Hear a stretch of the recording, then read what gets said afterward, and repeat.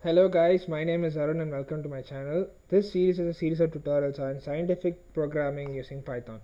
Now in this tutorial we will be looking at how to animate plots, how to animate plots and how to make a continuous continu uh, uh, how to see visualize data a little more easily. Okay. Now one thing is that let's one thing is that if you uh, have a lot of data let's say and if they are varying with respect to time or if you want to see how they vary with respect to space or anything or anyway it's like you just want to see how they how they gets modified one time after the one instance after the other it's always nice to look at uh, look at videos or video like representation of the data okay? The reason is if you do if you look at if you look at them like that uh, our visual inspection will be easy for us to understand what exactly is going on we just look at them data just plot them one after the other. And if you want to make a if you look at them it may not uh, strike us big but if you look at them in the form of a, a series of animations it makes sense. It makes sense. So now this will be really useful for observing the data. So how do we do about with that? How do we go about with that? The idea is actually is to set a loop running between a finite range.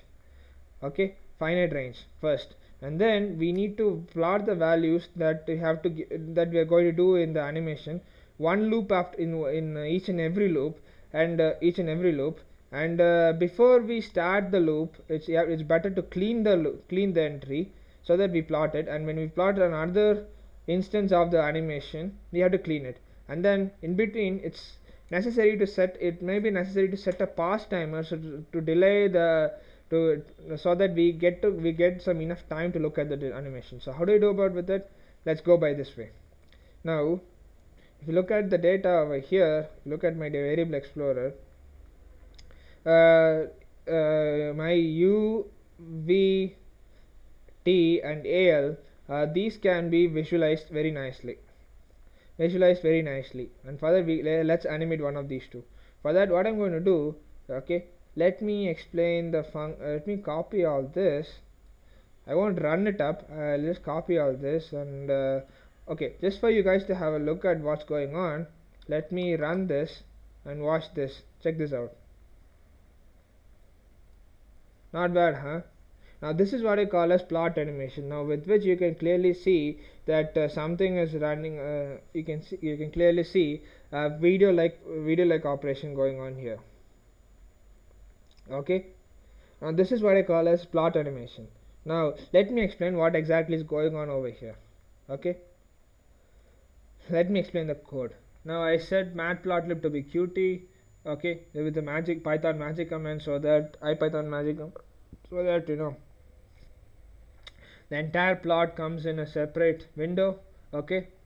And now I set a for loop whose range whose value i ranges from 0 to 31 with okay but it, i is going to iterate from 0 to 30 okay because of this line and then all these commands will be executed one after the other okay.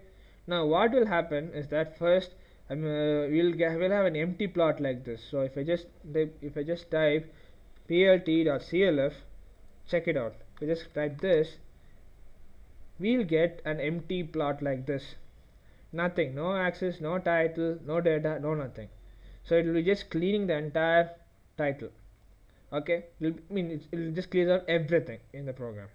And now what we do is that uh, we set u to be we set u to be I mean we set a value set as us just like what we did last time. Okay? For creating for creating um, uh, divisions uh, for creating divisions in contour plot contour plot and everything okay? And then I use this command to plot the values. This command to plot the uh, sorry. This command to plot the values for a particular value of i and now i is 30 so it's not a problem. So if I look at the plot it's okay. It's been plotted. If you look at this it looks okay. It looks okay. The coloring is not that good but it looks okay as of now and now what I do is that these are just plot enhancements options to create uh, X label, Y label, create text on X axis, create text on Y axis, create a title, create a super title, get the grids go get the grids present, make the enable the grids, setting the axis to be rigid, set the color bar and this matplotlib.rc params to make sure that we have a solid line okay? I copy all this and uh, run this here oh. Okay. Okay there's an indentation issue. Okay there's an indentation issue. So what I'm going to do is that I'm going to break this indentation up. See if there's indentation issue like this it just shows that uh, there's a compiler that there's something wrong.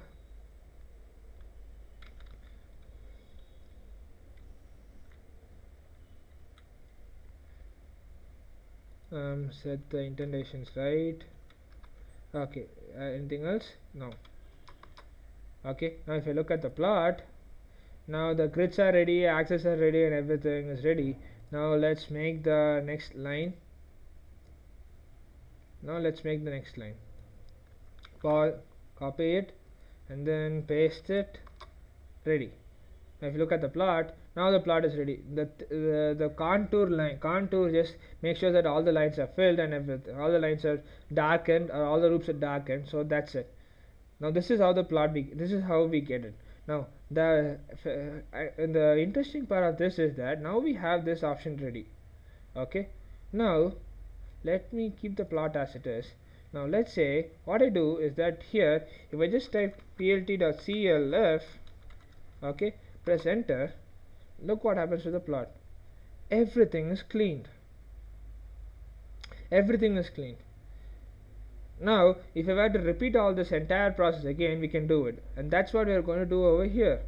And that's what we did over here. For i in range 0 to 31 0 to 31 I'm going to create an empty plot uh, the clean plot with this command C, plot clf if the command if the plot is already uh, made it's going to clean it up and then I'm going to create a variable us and then I'm going to make the contour plot and put all the fancy all the statements that makes the plot look neat and then I'm going to set the solids to be set I mean set the RC parameter line con line counter parameter I'm not sure where that is.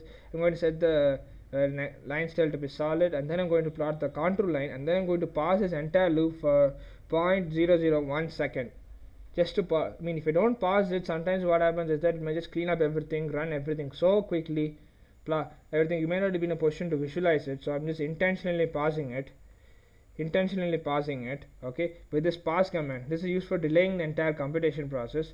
And then it's going and then after first loop it'll, it'll generate for first loop. And then it'll go to the second for when it starts the second loop we're going to clean everything everything that we done in the previous loop and we're going to replot everything with the new value of i. That's the same process. Wait for some time and then go to the next loop. That's the same and everything. And that's why we get this array. Now if I were to copy all this and now come on. Now if I copy all this and I print it up over here watch. Um, oh it's not done yet okay it's okay sorry. It's working. The animation is going on nicely. Now this is how you get a plot animation. Okay? And it works out and it works out nicely. And uh, if I set the if I copy everything do everything if I set the time to be one second let's okay I just pressed F1 huh? Okay not, not bad not bad. Uh, so if I were to have something like this if I just press F1 it's going to open the documentation for Spyder and then you can also check it out. I didn't know about that. Anyway now let's go over here. And then if I click pause to be 1.0 one second okay? One second if I run this look at the plot. It's going to change for the entire thing will repeat after one second the time gap between any two loops will be one second. So after doing all this the co compiler will wait for one second delay the process for one second and then does the entire job. Okay? Now, now one one thing you have to keep in mind is that it's it's always better you do this kind of job in a separate window like this you do this in the console the console may not be in a position to animate everything and stuff. So it's better you do this kind of plot animation in separate qt window like this so that will be safe for you that will be kind of safe for you guys and that's it. That's it. This this is over. Now this is uh, that uh, plot animation over okay? Now next thing is that you can make a video out of it as well. Video out of it as well. And uh, that we look at in the next tutorial. So next tutorial. And uh, what I would like to mention here is that not only a one dimensional plot you can also make a three dimensional plot animation of three dimensional plot as well uh, or one dimensional plot as well in this option. Okay? This this is possible in that way. So have a look. So you guys have a look and do experiment and this will be very this will be very helpful. Okay? Next tutorial we will see how to make a video out of this how to make this entire animation as a video. Okay? Now thank you guys for watching. The see you guys next tutorial and the next tutorial we'll see how to make a video out of it. So thank you